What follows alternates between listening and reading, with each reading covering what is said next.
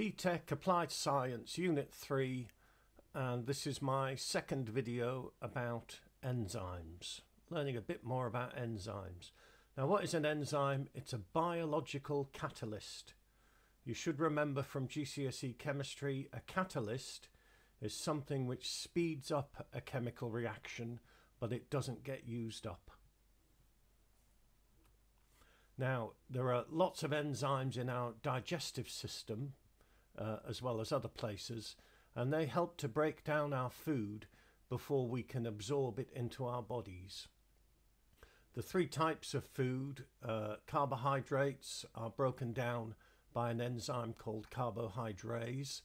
Proteins are broken down by an en enzyme called protease. And fats are broken down by an enzyme called lipase. An enzyme is a biological catalyst it speeds up chemical reactions. These large molecules would break down anyway, but it would take much, much longer to do so. The enzymes speed it up. Now watch this animation a couple of times. See that green thing goes in there and then it gets broken into bits and it comes out again. Okay.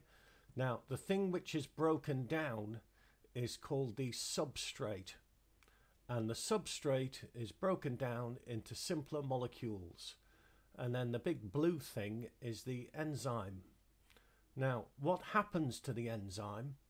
Uh, and the answer is nothing. Before and after, it's exactly the same. The enzyme doesn't get used up, it's a catalyst, but the substrate is broken down. Could this enzyme break down different substrates or can it only break down one substrate? Well, you should be able to figure that out if you look at the animation. Here's a, another diagram showing the same thing. The substrate is the green stuff. Uh, it attaches to the enzyme, some part of the enzyme called the active site. Uh, it's broken down and the products come out and the enzyme can do its job again. Here's an example. Sucrose is broken down into fructose and glucose by an enzyme. And uh, there you see the yellow sucrose molecule goes into the enzyme and it's broken down and we get glucose and fructose released. Okay, uh, how does it work? Well, basically, what an enzyme does is it makes the activation energy a lot smaller. Chemical reactions often need a little bit of energy to get going. If I want something to burn, then I need to set fire to it with a match. So I give it a little bit of energy and then I get much more energy out. And the energy to get it going is called the activation energy. If you look at the graph, the activation energy is a lot less if there is an enzyme involved. The activation energy is the energy needed to get a reaction going. This is less in the presence of an enzyme.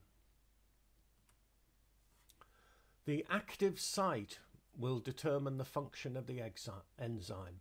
Uh, here's some hydrogen peroxide.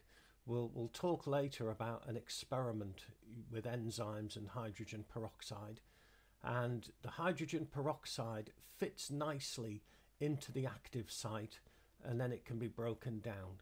The enzyme which does this is called catalase.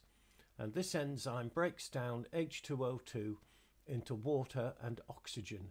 And you'll notice that this molecule, the hydrogen peroxide molecule, fits into the active site. The shape of the active site is very important. Okay, each enzyme does a particular job because its active site has a particular shape, like a lock and key. Okay, the substrate fits into the active site and no other substrate will, so each enzyme does a particular job. The structure of enzymes, there's uh, different levels of structure. The simplest level of structure is called the primary structure, which is just the long chain of amino acids, the polypeptides we talked about in the last video. That's the simplest primary structure. The secondary structure, these polypeptides can be arranged into things called alpha helixes or beta pleated sheets. I'll show you what they are in a second.